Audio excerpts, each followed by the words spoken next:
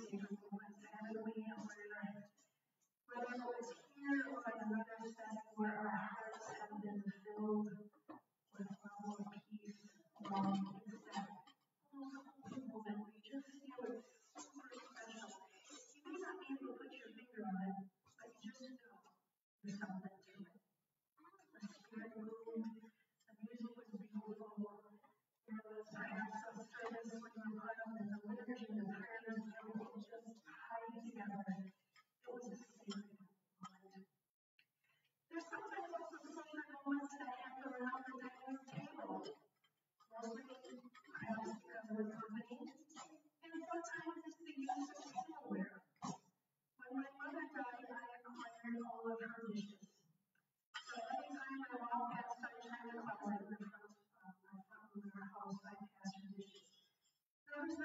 miraculous about these dishes, other than the fact that every time I see them, I'm reminded of the meals and the silly conversations and the countless amount of dishes that we would wash, and they all had to be hand washed.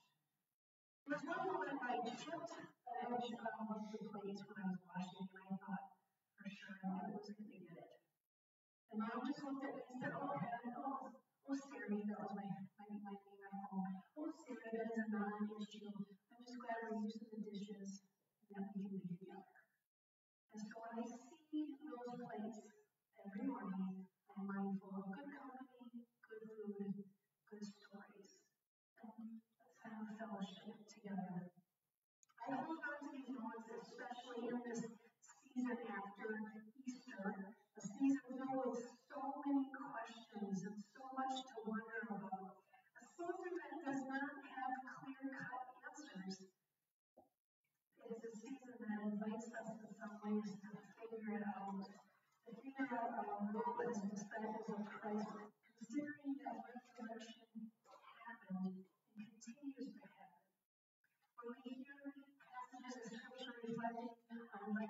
with Thomas, there's evidence of someone that has the courage and the audacity to ask the questions that Jesus has faced and to ask those questions that everyone else is thinking. And again today we are faced with questions of wonder from scared disciples and even glimpse, glimpses of gratitude in the midst of fear. When faced with hard questions, let's hold on to the sacred moments that we named or that we thought of when I asked that question. These sacred moments give us the courage to faithfully question, to do so knowing that God is with us, and in the midst of our questioning, we can find some wholeness. And it is also worth noting that as we are guided by the presence of the risen Christ that exclaimed to us, Peace be with you, we will never be the same and thus become agents of transformation. The same transformation that Christ enlists us to experience, the same transformation we sometimes run from, and yet it will not let us go. The same transformation the disciples experienced with. We come here on this morning faced once again with courageous disciples who are told that Jesus would return to them on the third day. On the third day after the crucifixion, however, we find these startled, frightened, troubled, doubting, and questioning disciples, and Jesus appears to them and offers them that familiar greeting, Peace be with you. And it is a turning point between the fear surrounding the crucifixion and the joy that is about to dawn in the coming of the Spirit, the celebration of Pentecost, the birthday of the church. The disciples needed their courage affirmed, though. And Jesus came to them, Look at my hands and my feet.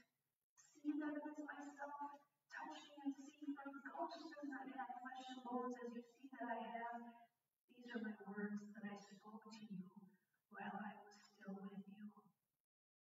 Josh Scott, pastor at GracePointe Church in Nashville, That Jesus' scars tell a story.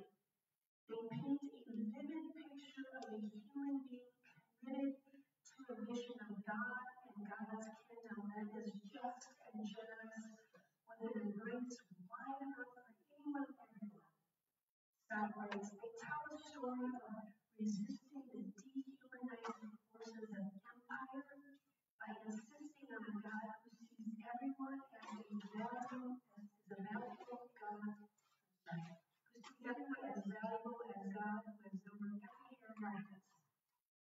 Jesus' scars tell a story of refusing violence in favor of peacemaking and returning love in face of hatred. The truth is the scars by which Jesus' disciples know him encapsulate the very essence of the life he lived that led to them in the first place. The disciples needed to be reminded, and they needed to be reminded of their agent status. They had seen Jesus walk walk and talk the talk. They were witnesses of these things. They saw and heard Jesus heal and challenge the authorities and challenge the status quo and preach social justice. And being able to recognize Jesus after the resurrection requires the disciples to understand the scriptures in a new way.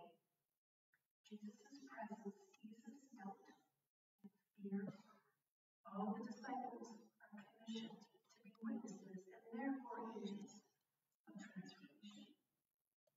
And that makes witnesses and agents as well, whether we want that status or not. And that requires us to let our minds to be opened to the one that calls us. And requires us to be open to what the scriptures say and how the words written centuries ago impact us as people today.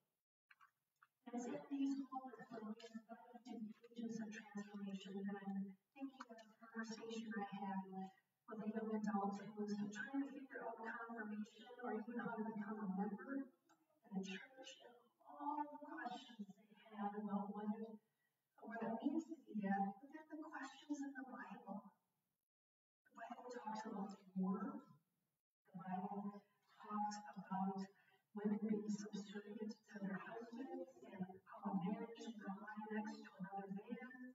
The Bible talks about God that means God's people from enslavement. The Bible talks about the birth of a Christ child and the hope that this child is bring for those who have no hope. The Bible talks about loving your neighbor. There's this heavy, exasperating mix of things in this one good book that have taken out of context can do a great of. How, Sara, do we continue to do this and follow this and to be a part of this? But sometimes it's so hard to make sense of.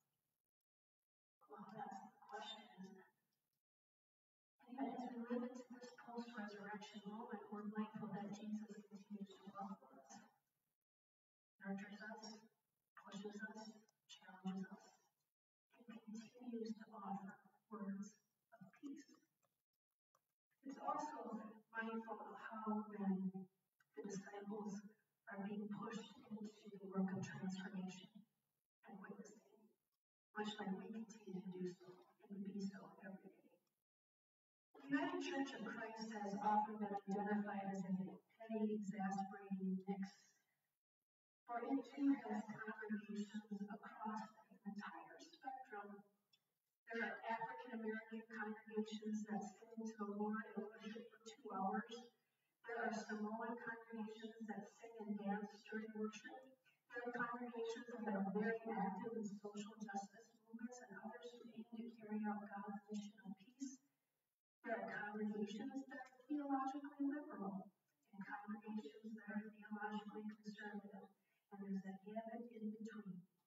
Within our own congregation, we have folks that believe that a wall should be built on the U.S. Mexican border, a woman should be elected president, and universal health care should be a right for all. All in this one space. The combination that we are in, the social issues of our day, the feed that we carry with us merge together into this exasperating mix that is called to be an agent of transformation and.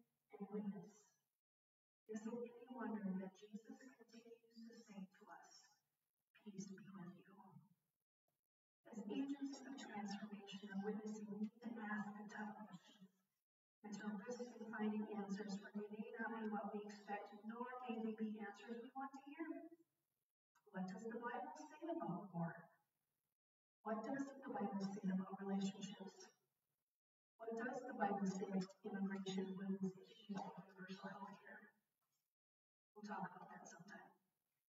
And sometimes being agents of transformation is witnessing the simplicity of sharing hospitality.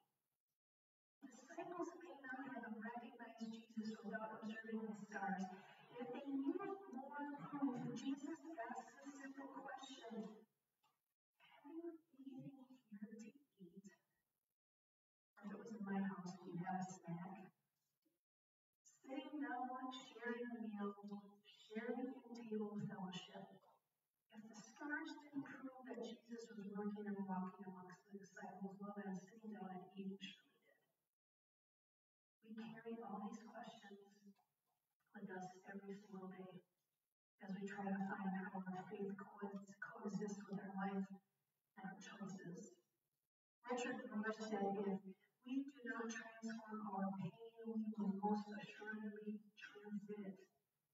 The risen Christ, Josh Scott writes, allows his pain to be transformed and as a result of allows healing and hope to flow from his wounds to his disciples and beyond.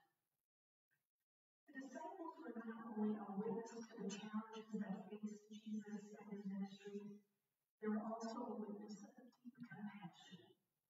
In their witness, they became agents of transformation, whether they were ready or not As soon as Jesus said, Peace be with you, and if that wasn't enough, have you anything to eat? They knew the story did not end with crucifixion, nor did it end with resurrection. The story does not end. The story continues to be lived out and passed on from generation to generation to this age where we grapple with the questions of our being hopes that Jesus will speak to us and affirm our role in this dance called life. The hope is that in all of our questioning we pass along the gift of peace and hospitality that surpasses all understanding to the generations that follow, so that they too can be truly present with the post-resurrection Jesus. As we open our minds what Scripture says, and as we open our minds to what others have to say around us, may we have the courage to maintain integrity and respect as we faithfully question and transform the world